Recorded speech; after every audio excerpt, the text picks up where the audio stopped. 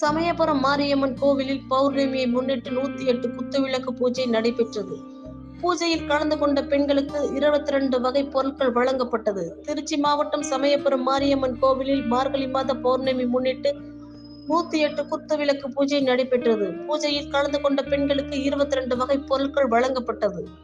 குத்து விளக்கு பூஜையில் கலந்து கொள்ளும் பெண்கள் ரூபாய் இருநூறு கட்டணமாக செலுத்த வேண்டும்.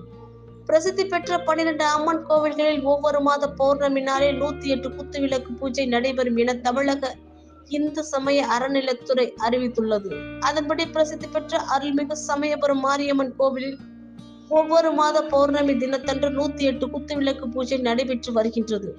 இந்நிலையில் இன்று சமயபுரம் மாரியம்மன் கோவிலில் நடந்த நூத்தி எட்டு குத்து விளக்கு பூஜையில் கலந்து கொண்ட பெண்களுக்கு இருபத்தி ரெண்டு வகையான பொருட்கள் வழங்கப்பட்டது.